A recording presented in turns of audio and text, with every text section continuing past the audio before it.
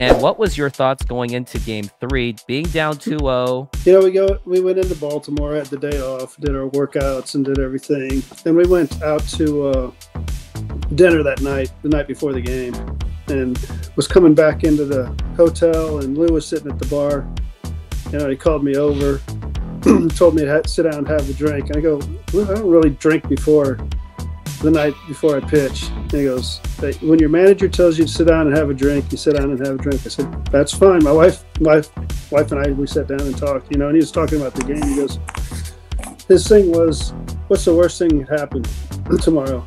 You lose and we have to go home in three, or you go out and win and you get to play, live and play for another day. I mean, he, he just made you feel relaxed. Just go out there and do what you can.